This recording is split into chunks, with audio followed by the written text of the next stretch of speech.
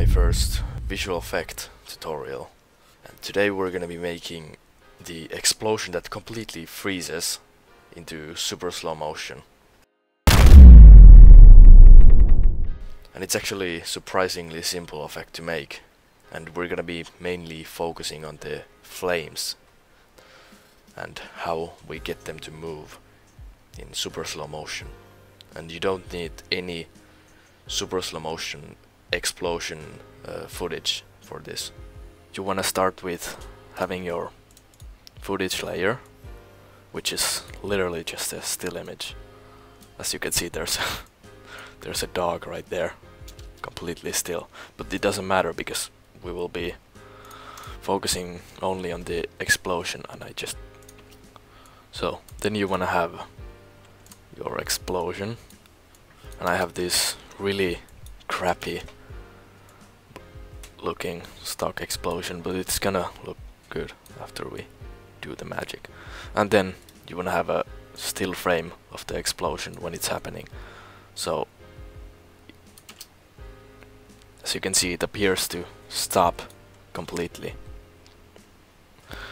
First you wanna put your footage to uh, screen mode. So now we have both of them in screen mode you wanna start positioning them where you want them to be. So when you got your explosion starting point where you want it to be uh, you want to scale it up. So because this just looks well yeah terrible. So you want to put keyframes on on the scale. You want to go to the end of the clip. You want to remember to press shift so it keeps the same aspect ratio. Otherwise it will go like that. You will stretch it so shift. So now when we have the explosion in place it looks a bit better. You wanna go to the last keyframe right here.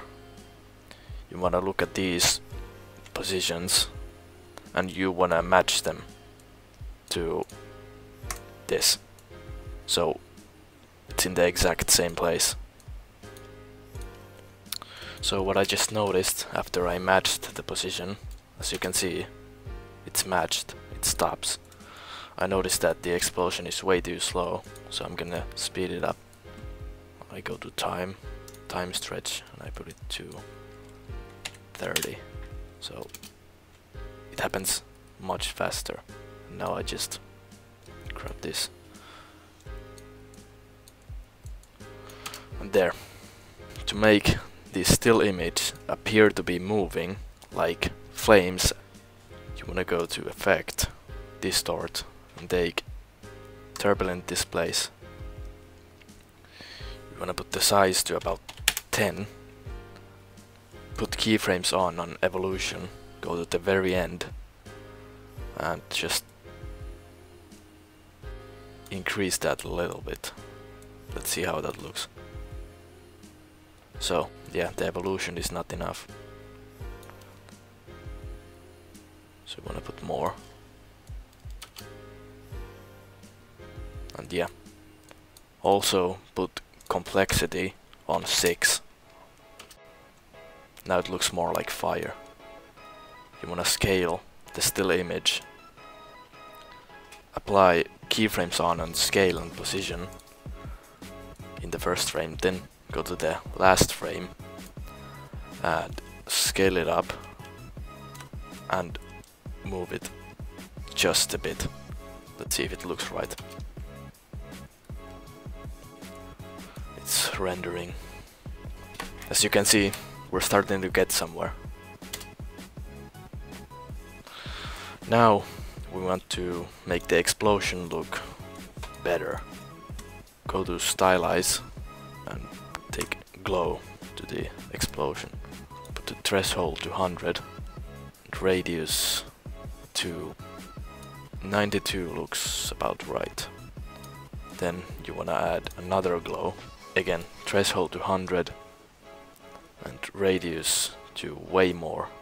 Yeah 314 looks about right So now the explosion actually looks like an explosion. And you want to put the same things to this still image. So after you're done with the explosion itself, you wanna make it look like it's actually in the room.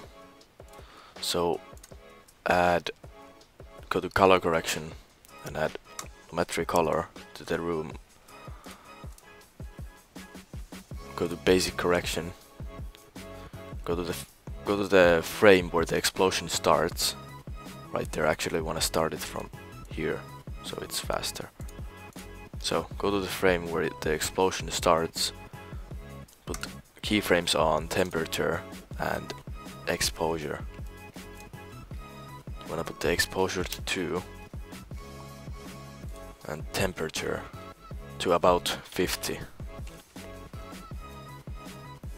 You wanna go to couple frames after the explosion uh, freezes.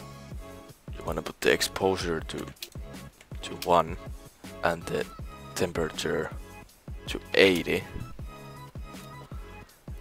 and then you want to go to the last frame and put the temperature to 100 so and also go one frame before that and put both of them to zero so it's it starts right here so one last thing you can do is add an adjustment layer on top of the room add a turbulent displace in the first frame of the adjustment layer, put the amount to 15 and put keyframes on on evolution. Go to the last frame and have the amount in 5 and the evolution a little bit over 1. So then take the pen tool and draw a mask in the shape of a wave.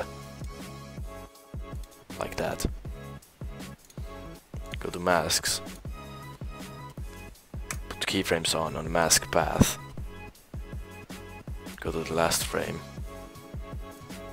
and move the mask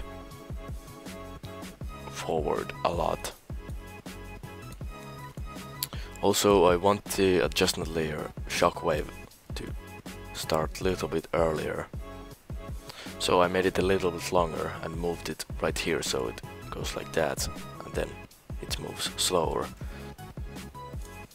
Also put the mask feather to about 50. So I just noticed that the turbulent displace shockwave looks a bit weird right here. If you look at there, it kinda has the... Looks really weird, so I'm gonna... I'm gonna reduce the amount to 10. Well, actually in the first frame, I'm gonna put it to 5 and when the explosion stops put it to 10